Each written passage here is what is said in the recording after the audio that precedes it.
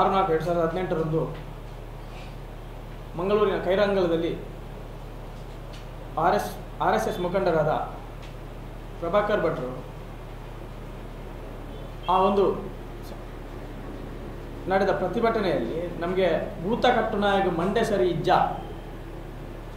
ನಾವು ಈ ದಕ್ಷಿಣ ಕನ್ನಡ ಜಿಲ್ಲೆ, ಉಡುಪಿ ಜಿಲ್ಲೆ ಎರಡು ಜಿಲ್ಲೆಯಲ್ಲಿ ಪರಂಪರೆಯಿಂದ ಅನಾದಿ ಕಾಲದಿಂದಲೂ ನಾವು ಈ ಭೂತ ಕಟ್ಟುವ ಒಂದು ಜಾತಿಯವರಾಗಿದ್ದು, ಅದರಲ್ಲಿ ನಲಿಕೆ ಪಂಬದ ಪರವ ಈ ಮೂರು ಸಮಾಜದವರು ನಾವು ಈ ಒಂದು ವೃತ್ತಿಯನ್ನು ಮಾಡ್ತಾ ಇದ್ದೇವೆ. ಬಹುಶಃ ನಾವು ಹಿರಿಯರವರು, ಪ್ರಭಾಕರ್ ಭಟ್ರವರು ಅವರು ಒಂದು ಮಾತು ಹೇಳಿದರು, ಭೂತ ಕಟ್ಟುನಾಯಕ ಮಂಡ್ಯ ಸರಿಜ್ಜ ಬಹುಶಃ ಅದು ಯಾವ ರೀತಿ ಹೇಳಿದ್ದಾರೆ, ಅಲ್ಲ ಯಾರಿಗೂ ಆ ಮಾತನ್ನು ಹೇಳಿದರೆ ಅವರ ಆ ನಾಲಗೆಯಿಂದ ಹೇಗೆ ಬಂದೆ ಗೊತ್ತಿಲ್ಲ ನಮಗೆ. ಸೊ ಒಂದು ಭೂತರ ಕಟ್ಟನಾಗಿ ಮಂಡ್ಯ ಸರಿಜ್ಜ ಅಂತ ಹೇಳುವ ಬದಲು ಆ ಮಾತನಾಡುವ ವ್ಯಕ್ತಿಗೆ ಮಂಡ್ಯ ಸರಿ ಇದೆ ಅಂತ ನಾವು ನಾವು ಪ್ರಶ್ನೆ ಮಾಡಬೇಕಾಗ್ತದೆ. ಯಾಕಂದರೆ ಒಂದು ದಲಿತ ಸಮುದಾಯದಲ್ಲಿ ಇಷ್ಟರವರೆಗೆ ಇಂಥ ಒಂದು ನಾವು ಈ ಈ ಪತ್ರಿಕಾಗೋಷ್ಠಿ ಹಮ್ಮಿಕೊಳ್ಳುವಂಥ ಯಾವುದೇ ಒಂದು ನಾವು ಕಾರ್ಯವನ್ನು ಇಷ್ಟರವರೆಗೆ ಇಲ್ಲಿ ಮಾಡಲಿಲ್ಲ.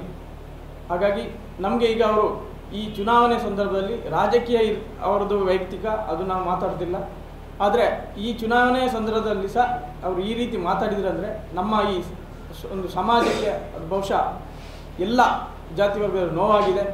ಅದು ದೈವ ನಂಬುವವರು ಇರ್ಬೋದು. ಇಡೀ ನಮ್ಮ ಈ ಎರಡು ಜಿಲ್ಲೆಯಲ್ಲಿ ಪಾರಂಪರಿಕವಾಗಿ, ವ್ಯಕ್ತಿಗತವಾಗಿ ನಾವು ಅದನ್ನು ಖಂಡಿಸ್ತಾ ಇದ್ದೇವೆ. ಅದಕ್ಕಾಗಿ ನಾನು ಮನೆ ಪ್ರಭಾಕರ್ ಭಟ್ರವರಿಗೆ ಹೇಳ್ತಿದ್ದೇನೆ. ಮೊನ್ನೆ ನಿನ್ನೆ ತಾನೇ ನಾವು ಬೆಳ್ತಂಗಡಿಯಲ್ಲಿ ಬೆಳ್ತಂಗಡಿ ತಾಲೂಕು ನಾಲಿಕೆ ಸಂಘದಿಂದ ನಾವು ಖಂಡನೆ ಮಾಡಿದ್ದೇವೆ. ಅವರ ಮೇಲೆ ಕಾನೂನು ಕ್ರಮ ತಗೊಳ್ಬೇಕೆಂದು ನಾವು ಪೊಲೀಸ್ ಠಾಣೆಗೆ ದೂರು ದಾಖಲು ಮಾಡಿದ್ದೇವೆ.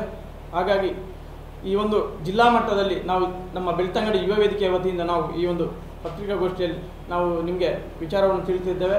ಇನ್ನು ಮುಂದೆ ಈ ನಮ್ಮ ಜಿಲ್ಲೆಯಲ್ಲಿ ಬಹುಶಃ ಬುದ್ಧಿವಂತರ ಜಿಲ್ಲೆ ಅಂತ ಇಲ್ಲಿ ಹೇಳ್ತಾ ನಾವು ಎಲ್ಲ ದೇಶದಿಂದಲೂ ಹೇಳ್ತಾರೆ ಬುದ್ಧಿವಂತರ ಜಿಲ್ಲೆ ದಕ್ಷಿಣ ಕನ್ನಡ ಜಿಲ್ಲೆ.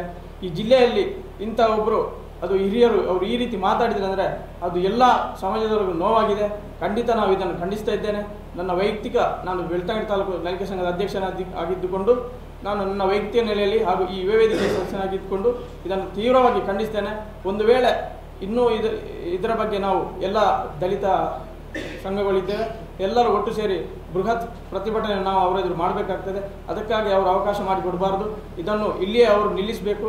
ಇನ್ನು ಯಾವ ಒಂದು ಸಭೆ ಸಮಾರಂಭದಲ್ಲಿಯೂ ಈ ಭೂತ ಕಟ್ಟುವುದಾಗಲಿ, ಅಲ್ಲ ನಾಗಾರಾಧನೆ ಎಲ್ಲ ಇದರಲ್ಲಿಯೂ ಯಾರಿಗೂ ಹಿನಾಯವಾಗಿ ಈ ಮಾತನ್ನು ಹೇಳಬಾರ್ದು ಅಂತ ಹೇಳುತ್ತಾ ನನ್ನ ಈ ಒಂದು ಮಾತನ್ನು